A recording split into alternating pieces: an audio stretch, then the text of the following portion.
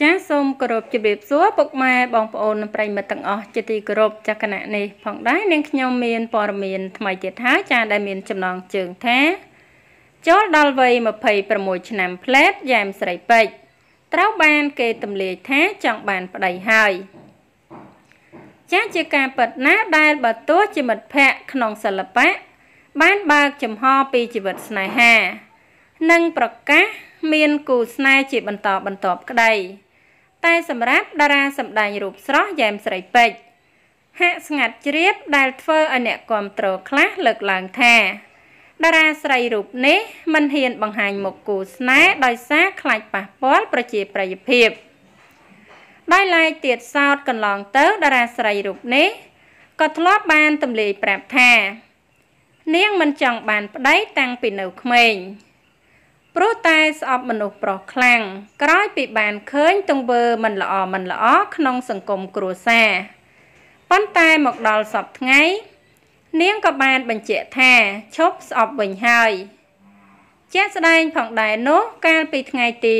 29ខែសីហា ឆ្នាំ2021កន្លងទៅដែលថ្ងៃកំណើតរបស់តារាស្រីរូបនេះចូលដល់វ័យ26ឆ្នាំ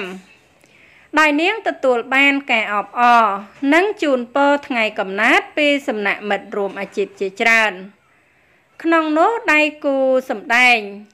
គឺលោកជាសវណ្ណនរាក៏បានបញ្ចេញសារជូនពរថ្ងៃកំណើតនាងយ៉ាងកំ pl ែងព្រមទាំងបានទម្លាយប្រាប់ថា នាងធ្លាប់ប្រអ៊ូចង់បានប្តីទៀតផង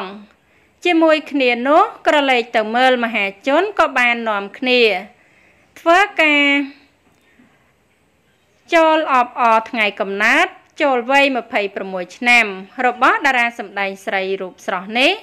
ព្រមទាំងធ្វើការជូនពរឲ្យរូបនាងគ្រប់គ្រប់គ្នាថែមទៀតផងចា៎ ចាហើយអត្ថបទព័ត៌មានដែលនាងខ្ញុំជម្រាបជូនខាងលើនេះចាគឺមានតែប៉ុណ្ណឹងចាហើយក៏សូមអរគុណដល់ពុកម៉ែបងប្អូននិងប្រិយមិត្តទាំងអស់ចាដែលតែងតែតាមដាននិងគ្រប់គ្រងនៅ Channel របស់នាងខ្ញុំជារៀងរហូតមក